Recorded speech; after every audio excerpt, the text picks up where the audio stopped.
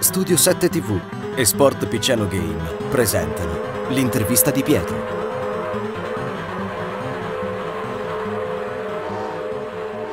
Ospite della puntata.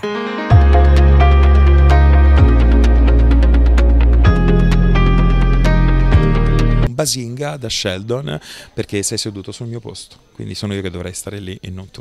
Ciao Basinga. A chi? Tecnica della moltiplicazione del corpo. Siamo al San Beach Comics, abbiamo Leonardo Graziano, mm, parliamo del mondo del doppiatore. Il doppiatore specifichiamo perché chi ancora non comprende che è una specializzazione del mondo attoriale.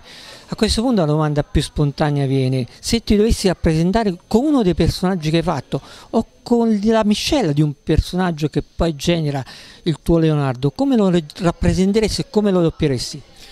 Uh, no, credo che non riuscirei a rappresentare Leonardo con nessun personaggio perché credo che tutti i personaggi hanno una parte di me e quindi non ne potrei mai scegliere uno per rappresentare me, farei un torto agli altri 100, 200 che ho avuto la fortuna di doppiare in questi, in questi anni, per cui direi tutti tutti hanno una parte delle mie emozioni, insomma siamo degli attori e ogni volta che devo doppiare un personaggio eh, vado alla ricerca di me stesso di una, della, della emozione giusta per poter dare voce e corpo a quel personaggio che è stato già fatto come un eh, Pirandello cioè uno nessuno centomila. Il, il, doppiatore in fondo è la mattina un prete il pomeriggio un, un sacerdote. È difficile a volte raccordare tutti i personaggi però vivete una vita come in una sedia di psichiatra.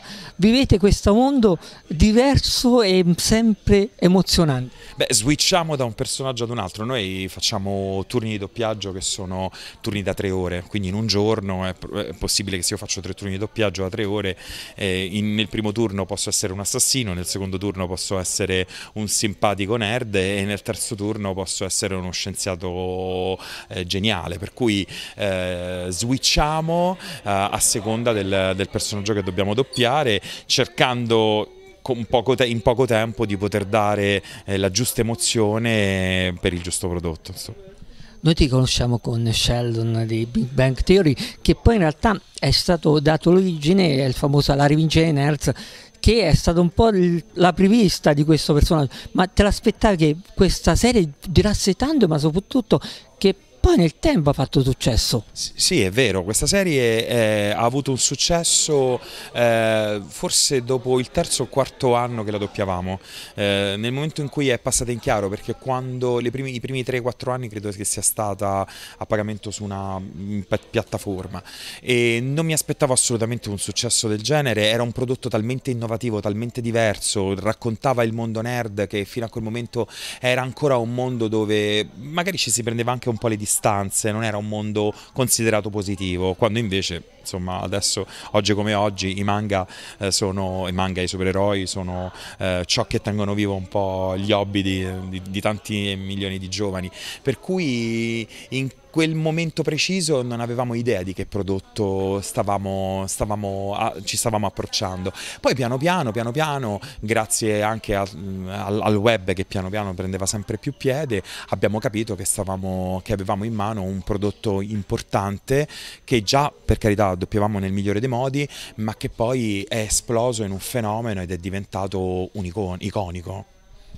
Ti conosciamo anche come Naruto, ma soprattutto mentre stavi presentando, parlando con le persone, a un certo punto una persona ha sentito la tua voce e si è emozionata al punto tale che a quel punto che sensazione hai provato quando hai visto eh, le lacrime di questa persona di gioia, non di tristezza?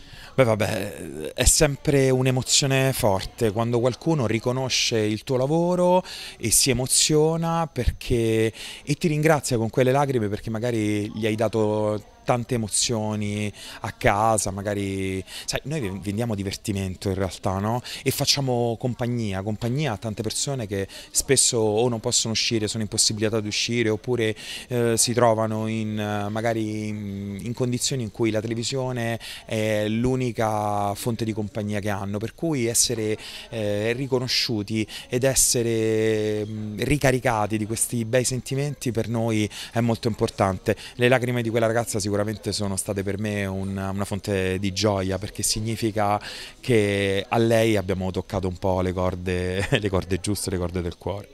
qualcuno eh, non, non, non, immagina che comunque vada tu partecipi a altri film come esempio abbiamo detto appunto cioè One Piece, One Punch Man e Polar Express. Sì. Cosa ricordi di queste cose? Bah, Polar Express fu un film meraviglioso, uno dei primi esperimenti eh, del digitale, eh, un film meraviglioso con Tom Hanks.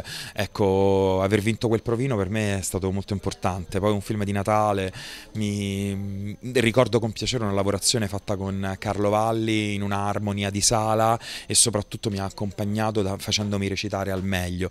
In One Punch Man mi sono divertito mm, moltissimo con Fabrizio Mazzotta, per quanto riguarda invece mi hai chiesto uh, Hunter Hunter, no, no, no. ah One Piece, One Piece mh, mm, è stata una bella mm, parentesi della mia carriera perché ho avuto l'onore di doppiare il giovane Frankie eh, che ricorda un po' anche il protagonista di One Piece mm, quasi sembrava all'epoca che ne potesse nascere uno spin-off ed ero molto emozionato nel, nell'affrontare quel personaggio perché poi eh, mi raccontavano che era un personaggio molto iconico, molto amato dai fan eh, e devo ringraziare ovviamente Sergio Romano che mi ha dato la possibilità di poterlo doppiare perché eh, nella mia carriera rimane sempre una sorta di, di medaglia insomma al valore perché eh, lo ritengo uno dei personaggi più carini che abbia fatto nella mia, insomma, nella mia piccola carriera.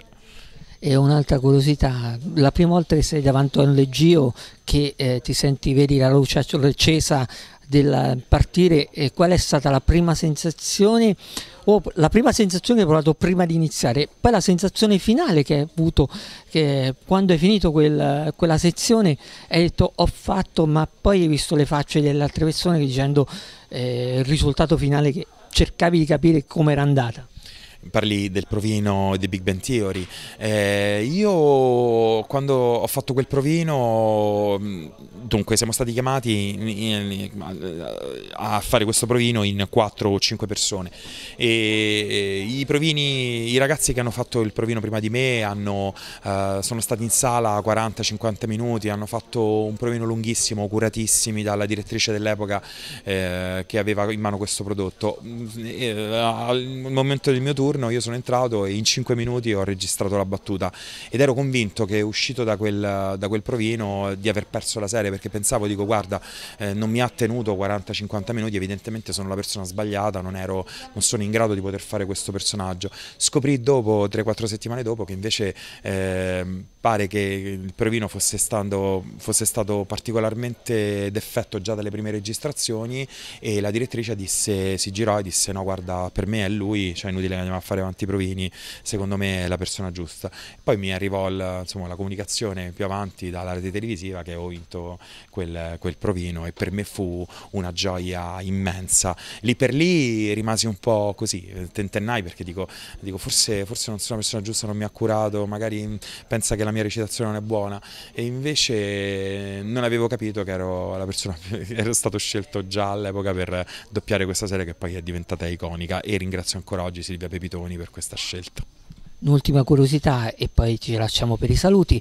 Eh, qual è stato il consiglio che ti è stato dato anche da un direttore di doppiaggio eh, che poi nel tempo eh, ti ha permesso anzi di crescere ma non solo migliorare non solo tecnicamente ma anche ehm, di aspetto proprio sensoriale nel, nell'espressione del nel parlato? Dunque, il consiglio migliore che io ho avuto l'ho avuto da Sonia Scotti, una direttrice che io devo ringraziare molto insieme a Giorgia Lepore e Roberto Pedicini, che sono, eh, Roberto scusami, del giudice, che sono stati i miei diciamo, eh, maestri, scopritori insomma, nel mondo del doppiaggio. Devo ringraziare Sonia Scotti perché il consiglio che mi diede all'epoca eh, dei miei inizi fu eh, ricordati Leonardo di seguire sempre gli occhi del personaggio, non lo mollare mai, se tu molli gli occhi molli, molli il personaggio e molli il, la, la, sua recitazione. Quindi il consiglio che, che io ho veramente, che, che, tengo in uno scrigno dentro di me è proprio eh, il, il, seguire gli occhi, il seguire il movimento degli occhi, perché dagli occhi del personaggio si possono ricavare delle emozioni bellissime. Non ringrazierò mai abbastanza Sonia Scotti di questo grande, di questo grande consiglio, voce tra l'altro di Whoopi Goldberg, di Ursula della Sirenetta.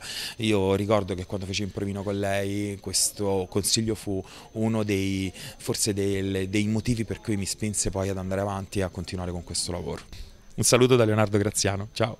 Studio 7 TV e Sport Picciano Game hanno presentato l'intervista di Pietro. Ospite della puntata.